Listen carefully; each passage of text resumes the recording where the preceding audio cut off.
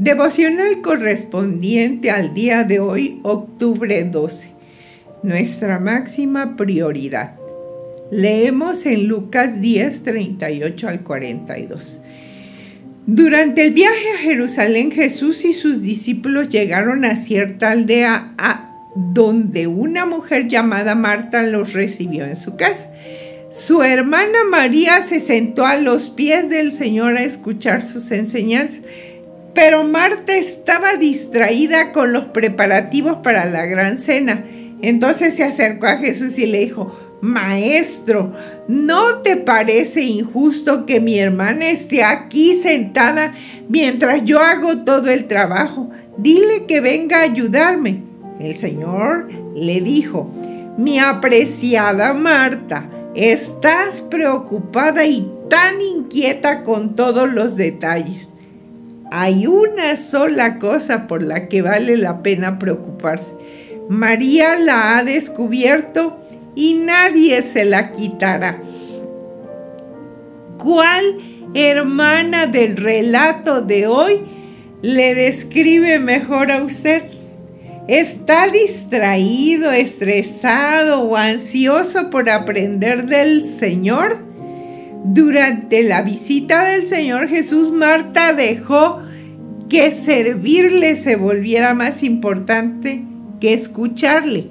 Aunque ambas hermanas estaban expresando su amor y su preocupación por el Señor a través de sus acciones, María eligió la mejor manera.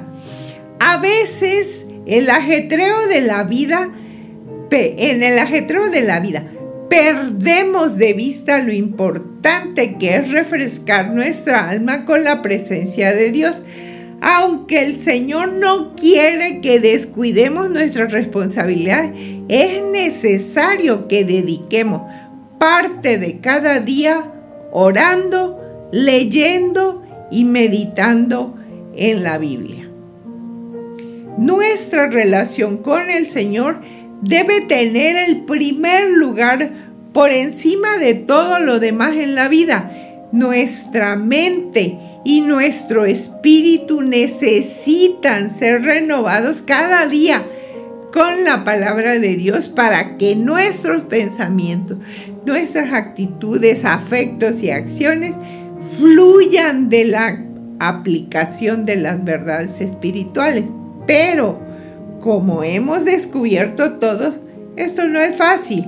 Nuestra naturaleza egoísta clama por la supremacía y el mundo, con todas sus búsquedas, placeres y tentaciones, nos anima a buscar complacernos a nosotros mismos. Nada debe sustituir su relación con Dios. Al igual que María, aparte tiempo para escuchar y aprender de Cristo. Amén.